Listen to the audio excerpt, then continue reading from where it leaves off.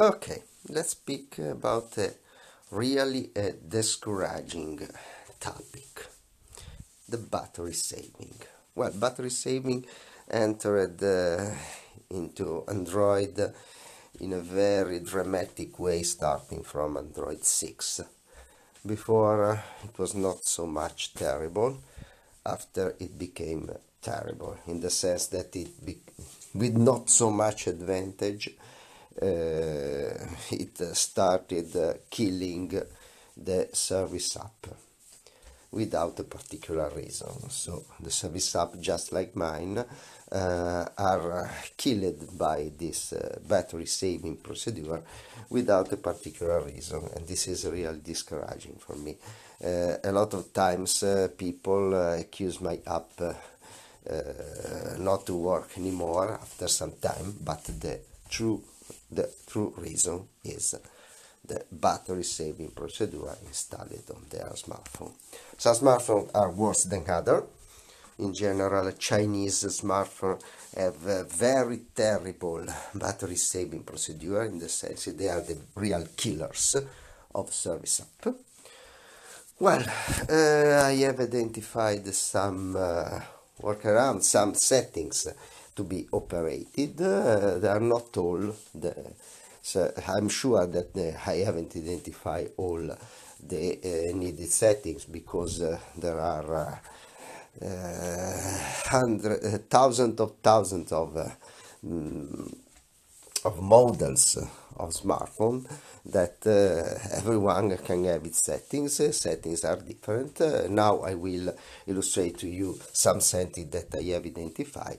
But of course you have to use your fantasy and you have to look for on internet to find the setting you need on your smartphone. Okay, but in general now I will teach you what I have found in my in my search. Okay, well, first of all, first of all, uh, the first suggestion is automatic. It will appear uh, in uh, the help uh, automatically uh, helping you, uh, and you can find it in the topic in the help topic standby and those. Okay, here are some notes, and you can press the remove button to go to the ignore battery optimization section.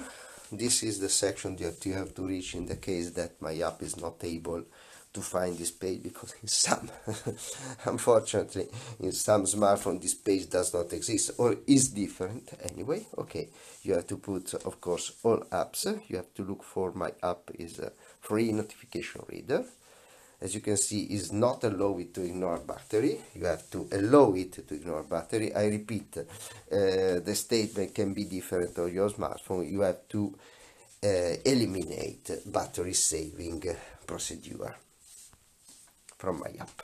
Okay. So now it's allow with to consume to more drain your battery more quickly. It's not important. The important thing is that my app can survive.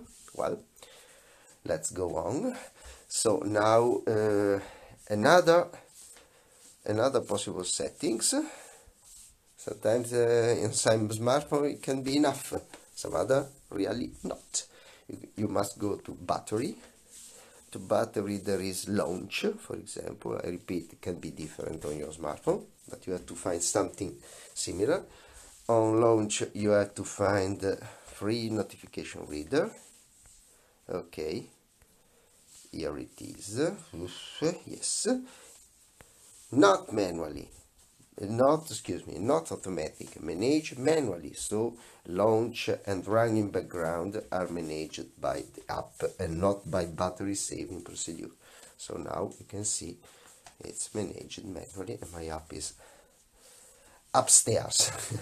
Pre notification region managed manually. Okay.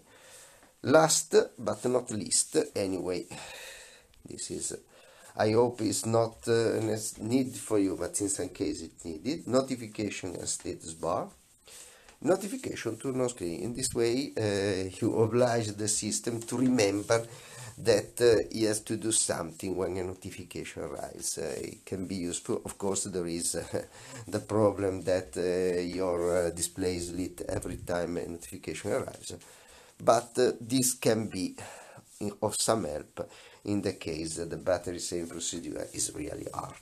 Okay, bye.